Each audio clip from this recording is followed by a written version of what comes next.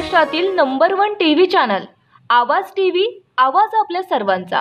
धुळे मध्यवर्ती बस स्थानकात आज सोमवारी आठ नोव्हेंबर रोजी धुळे जिल्ह्यातील विविध एसटी कामगार संघटनांतर्फे महाराष्ट्र राज्य परिवहन महामंडळाचे राज्य सरकारमध्ये विलगीकरण करावे या मागणीसाठी जोरदार घोषणाबाजी करीत आंदोलनास सुरुवात करण्यात आली आहे. यावेळी विविध संघटनांचे पदाधिकारी व कर्मचारी मोठ्या संख्येने उपस्थित होते. एसटी महामंडळाचे शासनात विलीकरण करावे यांसह विविध मागण्यांसाठी एसटी कामगारांनी पुन्हा संपाचे हत्यार उपसले आहे.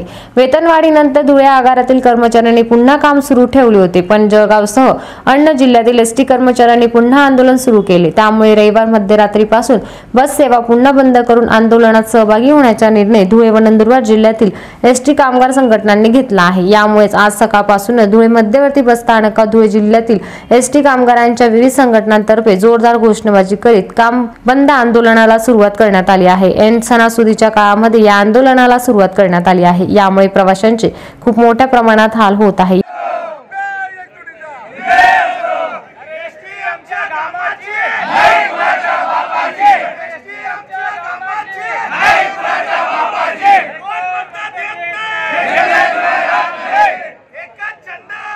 एकच कर्मचाऱ्यांची एकच मागणी आहे की एस टी महामंडळाचे राज्य शासनात विलिनीकरण व्हावे.